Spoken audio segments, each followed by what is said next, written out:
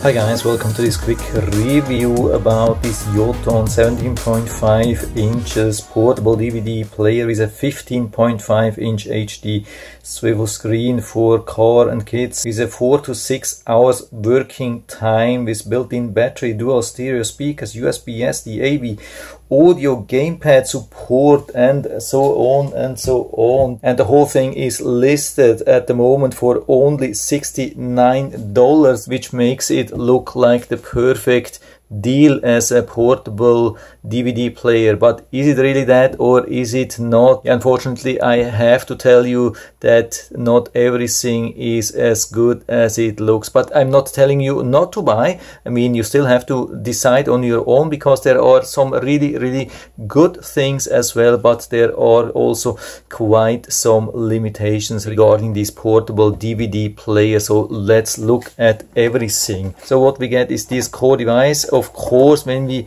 uh, lift it up and touch it it makes more like an impression from the last century uh, this is what I expected to buy maybe in the year 1995, 2000, something like that. This is not like the latest DVD player of the year 2022, definitely not. But we are also talking about a very, very low price. We have this four soft rubber feet, which is really nice. So you can uh, have it almost everywhere. So it has a very safe stand. It's not scratching anything. By the way, here on the side, we have all these ports. We have the port for uh, USB media, like for a USB stick. Then we have this card reader where you can put something on a card and play directly from here. Here we have the headphone jack.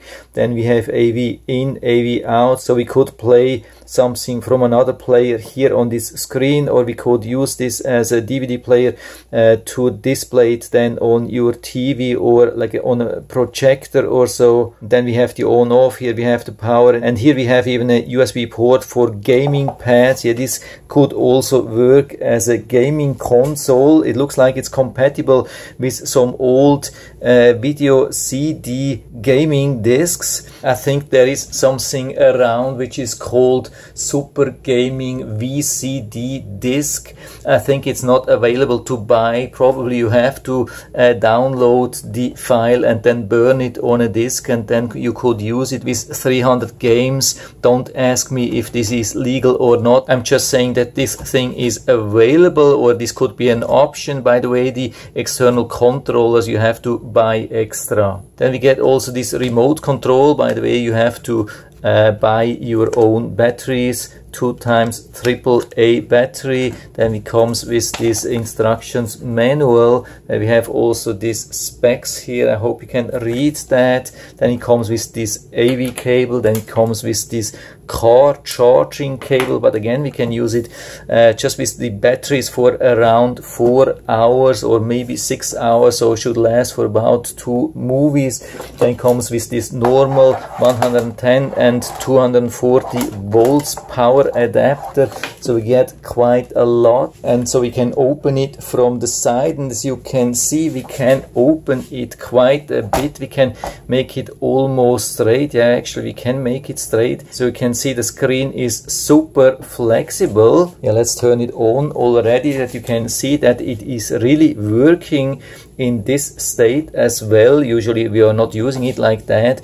Usually would use it like that. But the good thing is also that you can see that the visibility of the screen is really really good from almost all the sides so the whole family could watch. It's not only for one person. The good thing is the visibility is really good from all sides and the really interesting option is to put it in a 90 degrees angle and then we can twist it around fully 180 degrees and then lay it down and then we can hold it like a tablet. Of course it's very thick tablet but it would work uh, like a tablet. And you can see again here the screen especially from the side is really good. Maybe not from very low but from the sides it's really good even from the top. So it's definitely a good screen I would say. It's not a bad screen. I mean the native resolution is 1280 by 800 if I'm not wrong. We just have to be a little bit careful that we don't twist it into the wrong direction. Let's say from here we can only turn it in this direction, not in the other direction. If you give this to children, you have to be really careful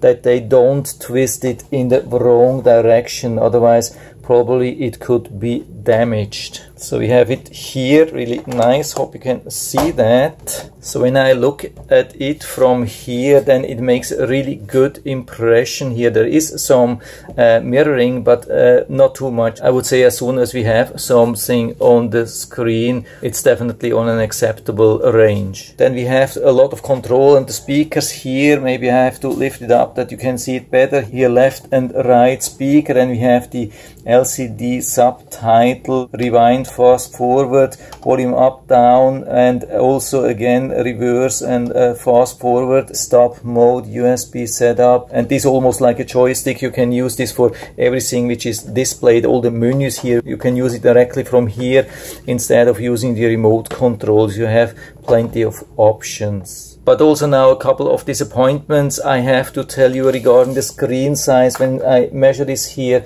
it is barely 14 inches. Uh, definitely not 15.5 and definitely not 17 inches, but it's still much larger than like a normal 10 inch tablet or so, no doubt about that. But also some other thing, if you think you can just plug in some normal 1080p video here, yeah, plug this in. I have here a 1080p video and a 4K video and it instantly shows what it has here on the screen. And again we can use this thing here to go down. We press ok and it does nothing because the maximum resolution for an mp4 would be 480 by 320 pixel. This is uh, definitely something from the last century and definitely not something which we expect in 2022. So the AV or MP4 player uh, from a stick or card reader is basically useless, unfortunately. But we can still use it as a DVD player. We just uh, slide this thing to the left side and it opens this tray. We add the DVD and it starts automatically reading and playing. Just needs a couple of seconds, doesn't take too long. We have the menus, everything, subtitle. We can also control it from here the normal DVD is really working absolutely awesome. There haven't been any lags or so. I would say also the screen, yeah, when we go a little bit closer, I would say the screen is really good. It has a pretty good brightness, good colors, I would say sharpness. So I would say if you're just looking for a nice portable DVD player with a large screen, long battery runtime for a pretty attractive price. So this could still be the thing for you and I'll put down the link to the Amazon listing down into the description so you can check it out and order it from there if you like it. And I hope I've been able to help you a little bit with this video. If you have any questions or comments just write to the comment section below. I'm always happy to talk about these things and if you like the video give me a thumbs up subscribe my channel thanks for watching. See you next time